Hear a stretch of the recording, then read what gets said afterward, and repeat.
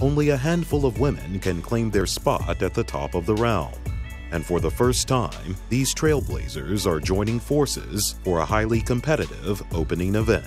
The Trailblazer Challenge, it was really a great idea, and it was Caryl's, the coach at USC's idea. You know, she came around and um, asked all of us if we would be interested in doing something, and we all kind of latched onto it and thought it would be something that is kind of showcasing us as female coaches. Sorry about the rain. We are normally a lot better. It's okay. Yeah, when it We're comes not gonna hold you that. accountable.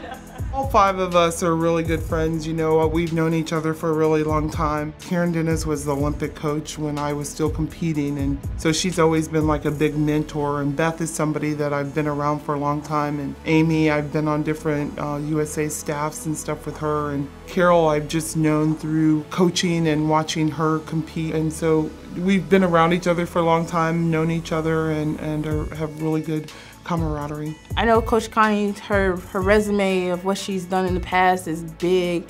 And just to have a coach who's accomplished so much, especially in the event that you're competing in, is it means a lot because you could get to that level knowing that you have a coach that has been at, on that level. As the title of the Meet West Trailblazer for, for women in sports, it's been incredible to watch what she's done with our program. And uh, not only that, but with USA Track and Field as well.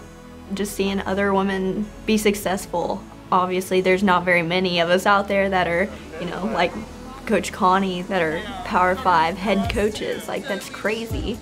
I was uh, sitting in my office over there, I saw you all walking down. I said, who's filming? And I saw her down there, and I'm going like, okay, what's going on? I see Caryl. I said, those are the Power Five ladies. Congratulations. Welcome to the University of Southern California.